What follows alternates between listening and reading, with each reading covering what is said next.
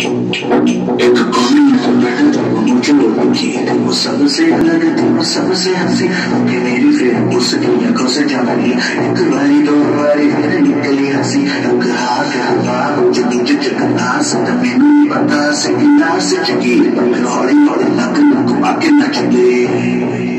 लग सुर से पसंद मेरी